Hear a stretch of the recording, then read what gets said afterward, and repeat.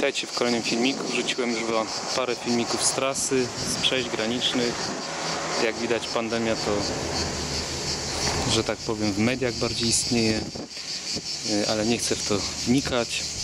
Yy, Tutaj słuchajcie, troszeczkę popadał deszczyk. Zobaczcie jaki skórzony. Znaczy jakie auto skórzone. Także brudny ten deszcz tutaj na wyspie Rad. Furę wymyłem przed wyjazdem. Tutaj pług, który też dzielnie jechał z rowerami.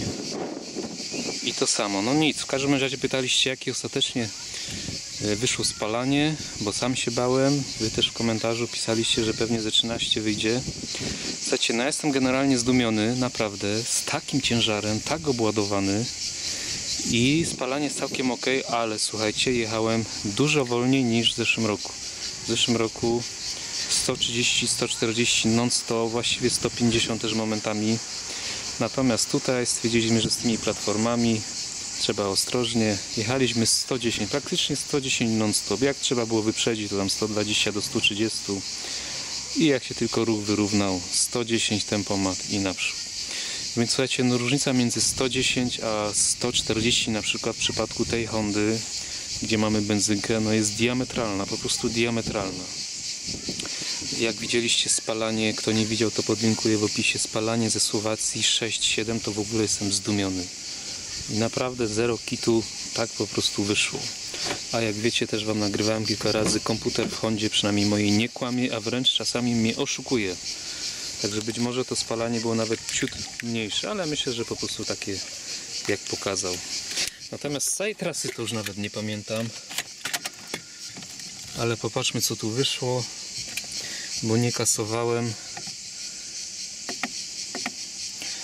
Yy, czyli tak, tego nie kasowałem.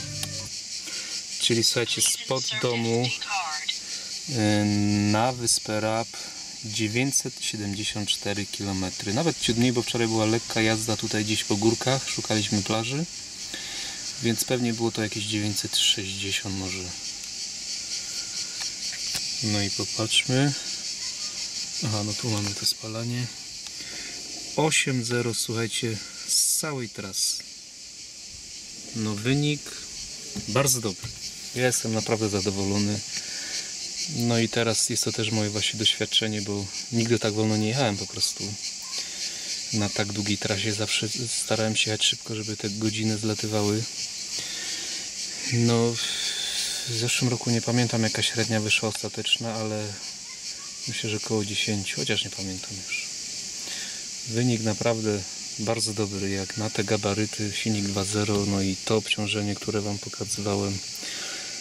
Zresztą sami niektórzy pisaliście, że Wy byście nie pozwolili tak obładować auto, że szkoda amortyzatorów i tak dalej. No mnie akurat nie szkoda, amortyzator można w każdej chwili yy, o, dzieci w basenie się taplają, ich słychać. Amortyzatory słuchajcie w każdej chwili mogę wymienić sprężyny natomiast radość dzieci w ogóle radość z rodzinnego wyjazdu to są chwile po prostu do których będziemy chętnie wracać. Kto uważam ja kto zaprzepaścił takie chwile w swoim życiu to może tylko żałować bo dzieci zaraz wyrosną pójdą z domu. I lepiej żeby miały wspomnienia właśnie takie jak próbuję im tutaj yy, pokazać. No nic, napiszcie w komentarzu. Yy, mam jednego widza yy, z Hondą CRV 2.2 diesel, wiernego widza, który też akurat jest teraz z Chorwacji. Jemu wyszło 7.0 z diesla, no ale jak mnie mam jechał dużo, dużo szybciej. Więc akurat w, tych warunkach, znaczy w tych warunkach, warunki były nieporównywalne, jeżeli tamten widz jechał dużo szybciej, a chyba nawet napisał, że jechał 130 na godzinę ale pewnie będzie oglądał ten filmik, to napiszę w komentarzu. Yy, także spalanie tych dwóch CRV się w miarę wyrównuje, no pod warunkiem, że benzyną jedziemy wolniej, bo powyżej właśnie 140-130 to już jest niestety wir w baku przy benzynce.